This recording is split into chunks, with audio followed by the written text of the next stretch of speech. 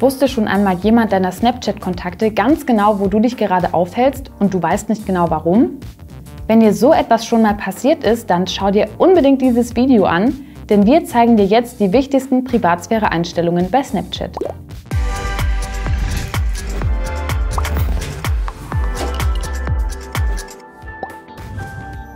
Um in die Privatsphäre-Einstellungen zu kommen, wähle zunächst oben links den kleinen Kreis mit deinem Bitmoji aus.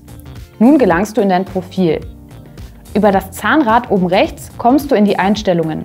Scrolle ein wenig nach unten, bis du zum Menüpunkt Datenschutzkontrolle gelangst. Unter Mich kontaktieren kannst du auswählen, wer dir Nachrichten schreiben darf.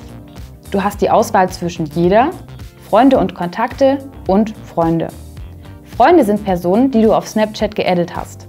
Zu deinen Kontakten zählen alle Personen, deren Nummer du auf deinem Smartphone eingespeichert hast.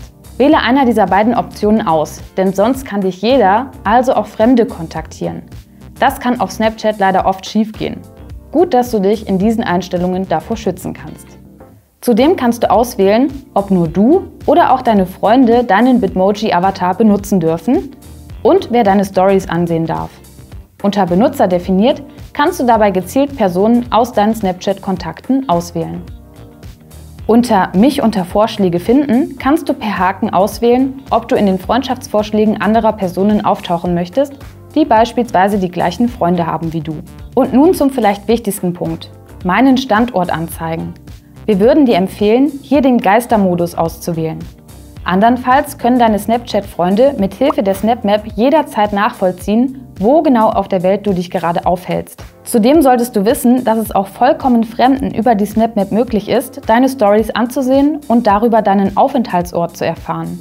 Nämlich dann, wenn du deine Story mit der SnapMap verknüpfst. Dann kann man auch auf dein Profil gelangen und dich gegebenenfalls anschreiben, wenn du das nicht deaktiviert hast. Überlege dir also gut, welche bzw. ob du überhaupt Inhalte über die SnapMap teilst. Wenn du dennoch möchtest, dass enge Freunde von dir deinen Standort sehen können, solltest du das im Unterpunkt Nur diese Freunde auswählen. Öffne doch gleich mal die App und nehme die wichtigsten Einstellungen jetzt vor.